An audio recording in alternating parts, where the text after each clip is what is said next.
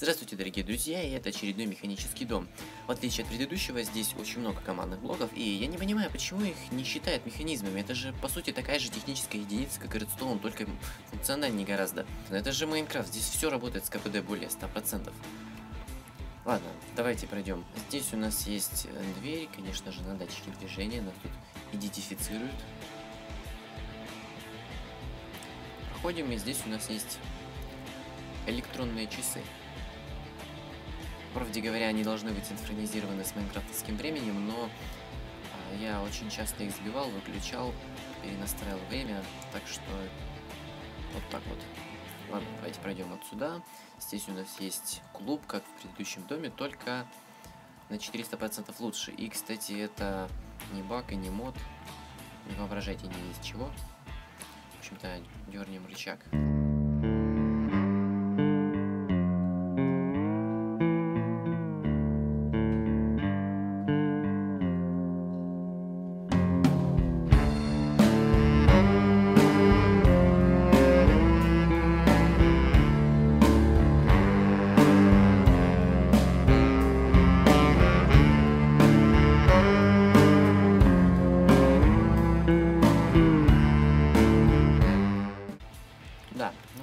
Все. Выключим его. У нас первый цикл закончится. И теперь пройдем в следующую часть дома. Спускаемся по лестнице и идем налево. Здесь у нас есть склад. Сейчас в сундуках ничего нет. Мы можем вот так вот проверить. А, здесь вот есть кодовый замок. Здесь всего три комбинации, и, соответственно, три ячейки, ну, я их называю ячейками. Да, то есть первая комбинация это э, два раза на девятую кнопку и три раза на пятую кнопку. Нажмем вот два раза, и я вот покажу, что здесь по-прежнему ничего нет. Но нажимаю на третий раз, и здесь у нас появляются предметы. Причем это полноценная ячейка а, набора предметов, то есть э, он сохранится. Если я, допустим, заберу какой-то один предмет, положу сюда какой-то другой, то в следующий раз, когда я активирую эту ячейку, э, здесь набор этих предметов сохранится. Давайте введем следующую комбинацию.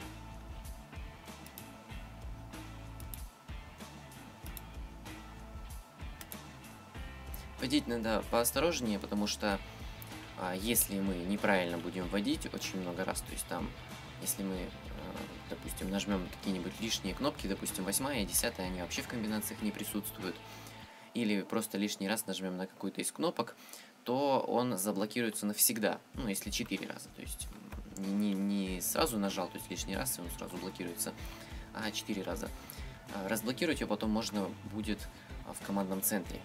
Я его так называю, это командный центр. Вот у нас второй пак, так скажем, ну, набор.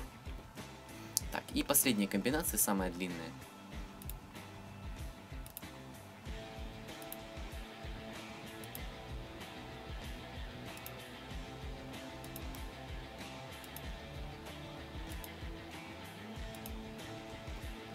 Вот. Последний набор предметов. Вернемся ко второй ячейке. Потому что ну, я хочу показать, что там сохранился набор предметов. Он сохраняется везде. Вот. А, да, здесь у нас еще есть кнопка сброса комбинаций, потому что, ну, если сбрасывать комбинации с помощью э, этого замка кодового, то он же будет считывать это как неправильный ввод. И 4 неправильных ввода он блокируется навсегда. Вот, собственно, такой вот у меня получился э, нанотехнологичный склад, на самом деле. То есть мне лично он очень даже нравится, очень удобный. Так можно на три ячейки разложить все свои предметы и, собственно говоря, места по-любому хватит. И можно по степени важности даже разложить их. Ладно, пойдем теперь на кухню. Точнее, это даже столовая. Здесь у нас есть только один механизм. Вот это вот печка.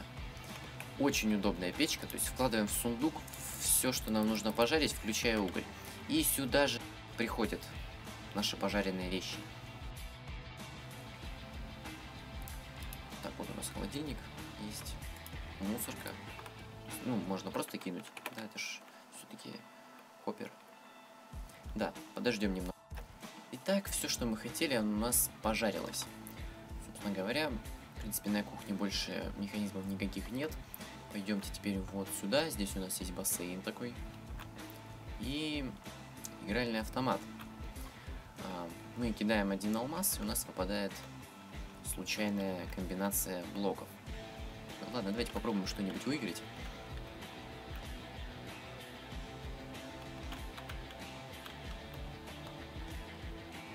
хотя бы что-нибудь. О, отлично.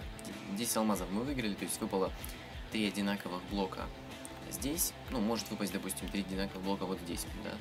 Или 4 одинаковых блока, то мы получим джекпот. Собственно говоря, вот такая вот а, прикольная лотерея, рулетка, игральный автомат, не знаю, как еще можно назвать.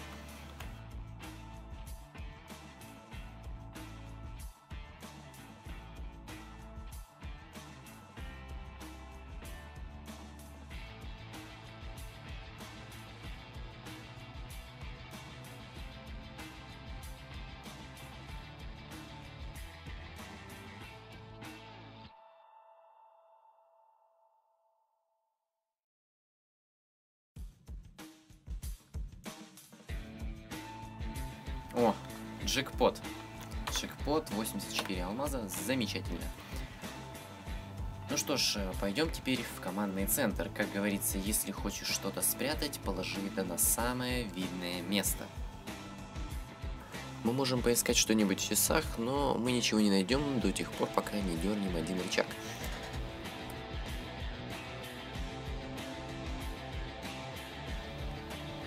И вот только тогда мы можем попасть в командный центр.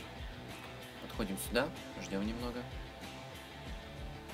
Все, прыгаем. Вот, это командный центр. Здесь мы можем управлять почти всеми механизмами в доме. А, собственно говоря, здесь можно настраивать часы. Вот, допустим, плюс один час. Минуты настраивать бессмысленно, в принципе, потому что они очень быстро идут. Можно его просто выключить. Можно выключить вообще почти все механизмы в доме, вытащив вот эту пластинку. Это типа у нас такой центральный компьютер, или нажав на этот рычаг, просто выключив, по сути, этот компьютер. Также можно обновить, э, собственно говоря, тот самый кодовый замок, если он был заблокирован всегда. А можно вообще отключить эту блокировку, например. Ну, то есть, если она вам не нужна. Ну, я ее включу. Так, собственно говоря, вот часы выключены. Давайте теперь вернемся. А то никто же на слово не поверит. Хотя, кто его знает. Да, вот у нас выключены часы. По правде говоря, на этом основная техническая часть всего дома себя исчерпывает. А, здесь еще, кстати, есть лестница в верхнюю часть дома, наземную. Но мы туда не пойдем, потому что там нет особо никаких механизмов, разве что какие-нибудь совсем уж незначительные. Поэтому всем спасибо за внимание, всем удачи, всем пока.